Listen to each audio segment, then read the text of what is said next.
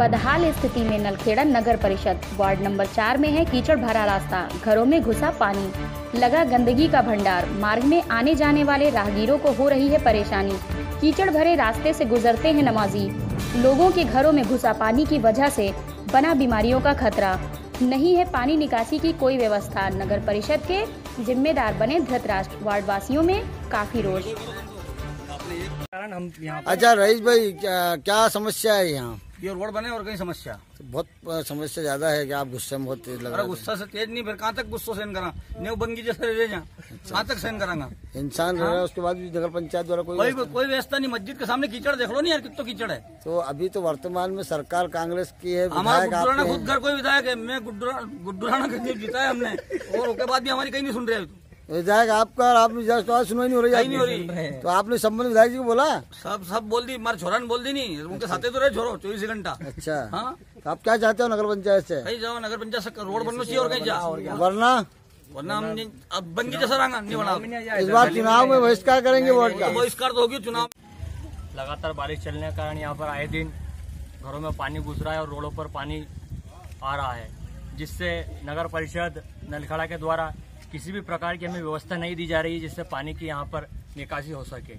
नगर परिषद के द्वारा 15 अगस्त को कुछ कर्मचारी आए थे उन्होंने बोला था यहाँ का निराकरण करने का लेकिन कोई निराकरण नहीं हुआ। वहाँ पर रोड पर ले जाकर जेसीबी से नाले खोद दिए कुछ नाली इधर खोद दी और बोला था कि पानी बंद होते ही यहाँ पर मुरम की व्यवस्था हो जाएगी और आपको राहत मिल जाएगी। लेकिन अभी तक नगर परिषद नलखड़ा के द्वारा किसी प्रकार की हमें राहत नहीं दी गई है जिससे यहाँ के रहवासियों को ज़्यादा ही परेशानी का सामना कर पड़, करना पड़ रहा है। यहाँ पर मस्जिद के सामने जो नवाजी आते हैं उनको भी बहुत परेशानी होती है उनके कपड़े कीचड़ में हो जाते हैं।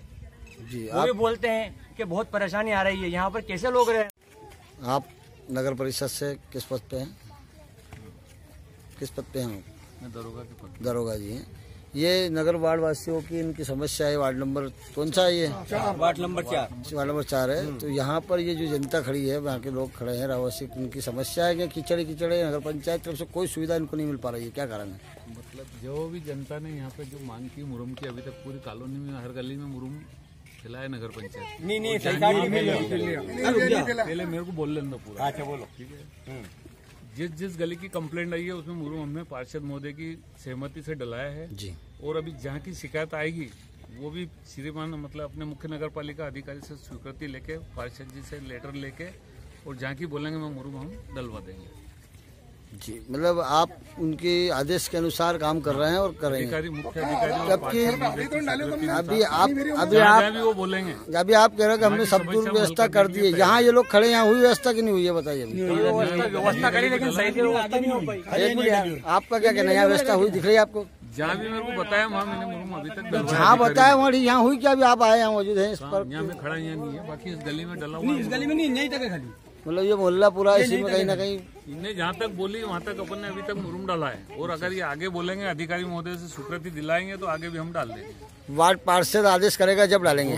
सीएमओ मुख्य अधिकारी फ़ोन लगाए नहीं। कहाँ कहाँ डालना है? अरे रुकिए रुकिए रुकिए। कहाँ जा रहे हैं? अभी ख़त्म नहीं हुआ है। अगर अभी तक आपने इस वीडियो को लाइक नहीं किया है तो नीचे दिए गए लाइक बटन पर तुरंत क्लिक करें। और इस वीडियो को शेयर करना ना भूलें।